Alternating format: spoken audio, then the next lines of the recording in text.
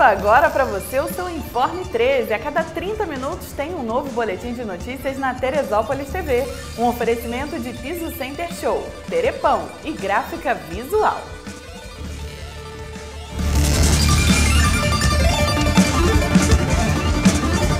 O Detran anunciou novas datas de licenciamento. Agora, os prazos para o licenciamento de veículos com placas com final 5 e 6 foi prorrogado até o próximo dia 30.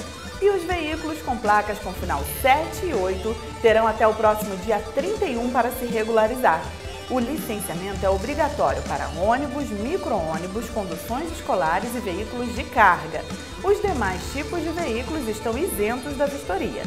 Os interessados em fazer a regularização devem pagar as guias de recolhimento de taxa e do DPVAT, emitidas respectivamente por meio dos sites do Bradesco e da seguradora Líder.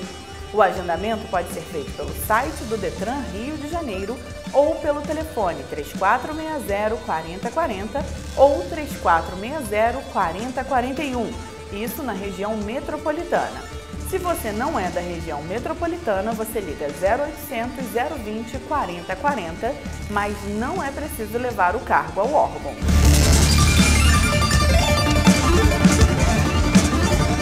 O projeto de sinoterapia da Guarda Civil Municipal e da Secretaria de Segurança Pública acaba de ser ampliado em Teresópolis. Até então, ele era realizado nos asilos da cidade. Um projeto de terapia assistida com cachorros da Companhia de Operações com Cães foi levado agora ao CAPS, que é o Centro de Assistência Psicossocial, e ao CAPS, Centro de Assistência Psicossocial Infanto-Juvenil.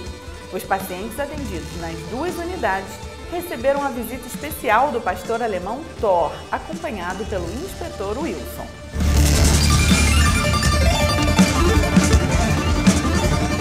A derrota por 1 a 0 para o Havaí, adversário direto na briga contra o rebaixamento do Campeonato Brasileiro, aproximou o Fluminense da Série B. Segundo o matemático Tristão Garcia, o risco de queda está em 78% após 16 jogos do tricolor das Laranjeiras.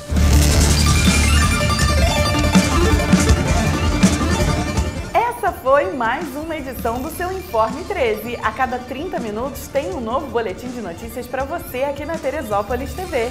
Um oferecimento de Piso Center Show, Terepão e Gráfica Visual.